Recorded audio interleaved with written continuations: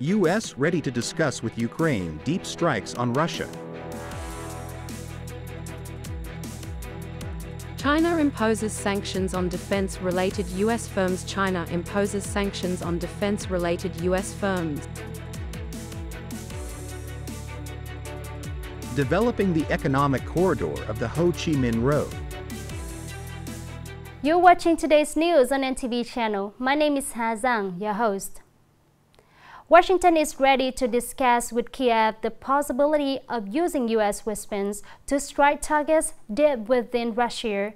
This is a statement made by U.S. Secretary of State Antony Blinken during a hearing at the U.S. Senate Foreign Relations Committee.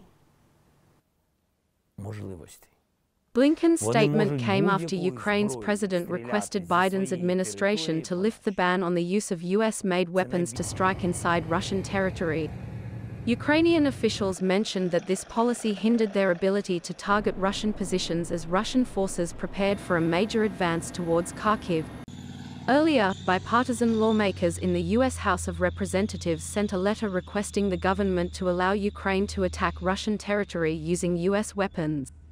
In response to these actions, the Russian government warned that Ukraine's dangerous and provocative actions could drag the US and other NATO members into direct conflict with Moscow.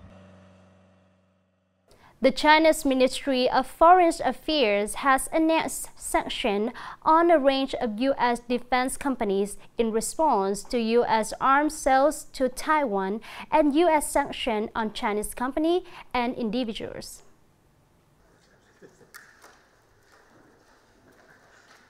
The sanction list includes 12 companies belonging to the U.S. defense firms, including Lockheed Martin, Raytheon, and General Dynamics, as well as 10 executives of these companies. The measures imposed by Beijing involve freezing the assets of these companies in China and banning these company executives from entering China. The Chinese Ministry of Foreign Affairs said that the move is in retaliation to the U.S. unilateral sanctions imposed on several Chinese entities related to Russia while ignoring the country's neutral stance in the Ukraine conflict. Furthermore, the ongoing U.S. arms sales to Taiwan severely violate the One China principle and the joint communiques between the two countries.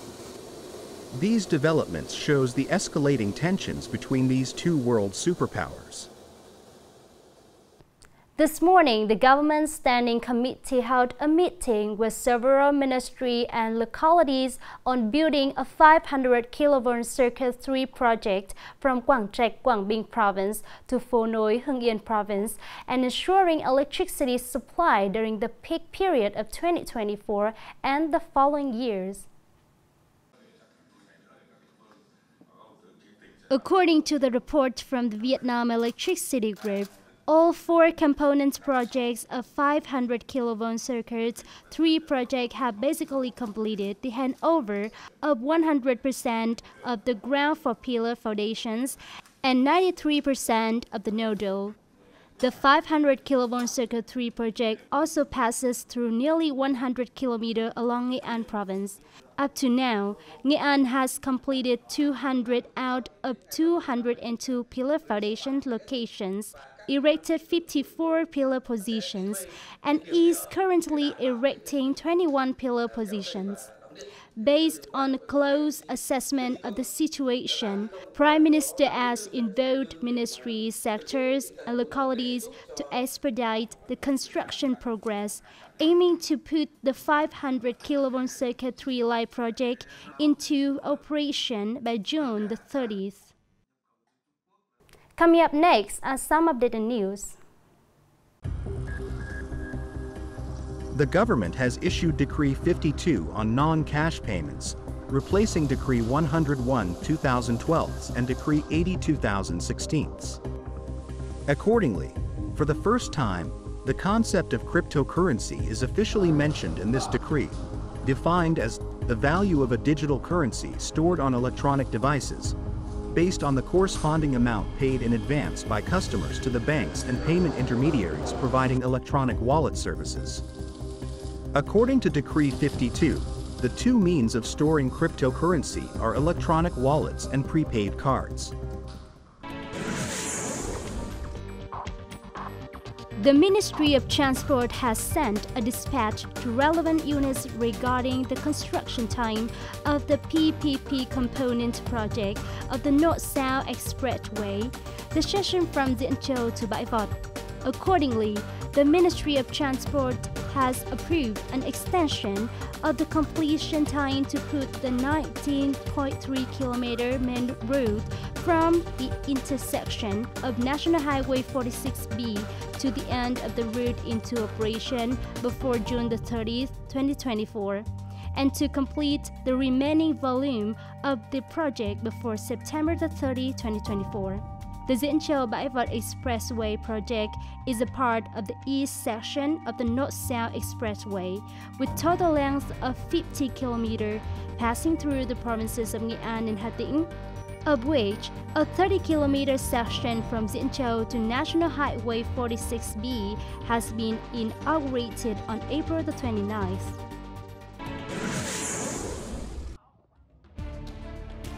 On the afternoon of May the 22nd, a nearly 1,000 meter high water spout suddenly appeared in the sea of Ha Giang, Khánh province, dragging a column of white water sweeping through the sea, overturning many boats of fishermen. The water spout column appeared about 500 meters from the coast and moved rapidly within about 3 to 4 minutes, causing some ships to capsize along the way. After the water spout passed, many boats were heavily damaged, with the water flooding into the engine rooms and some boats being blown away quite far. Fortunately, there were no casualties.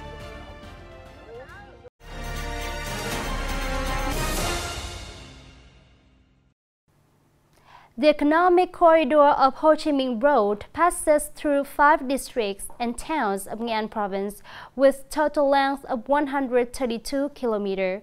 The total natural area of the region is nearly 321,000 hectares, accounting for 19.47% of the total area of the province with strength in high-tech agriculture, agroforestry processing, mineral exploitation. However, despite its potential and advantages, the economy of this area has not yet made significant breakthroughs.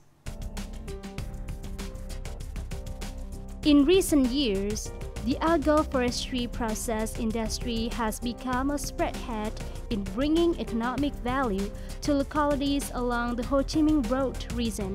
In Đàn district, Ngọc Company is a pioneering enterprise investing in the development of raw material cultivation and processing of macadamia. Although the consumption of products in domestic market is very good, the company still faces difficulties in export. The first difficulty is the land for the construction of the facility. The other difficulty is that the policies are hardly supported.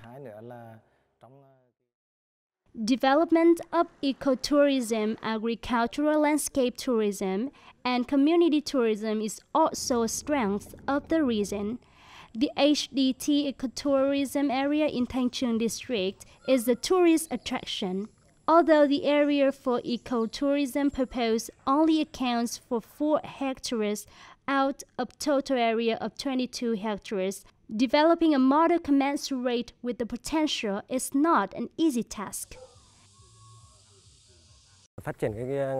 The development of community ecotourism takes a long time and need huge financial capitals for construction and operation, so we would like to have capital support to boost our business. Developing the economic corridor of the Ho Chi Minh Road is a breakthrough step to awaken the vast and the potential rich western region. This corridor also plays an important role in connecting the east-west economic axis of Nghệ province. Therefore, mechanism, policies, and timely support should be provided to help localities effectively exploit their advantages. The last news has ended our bulletin today. Thank you for watching and see you next time.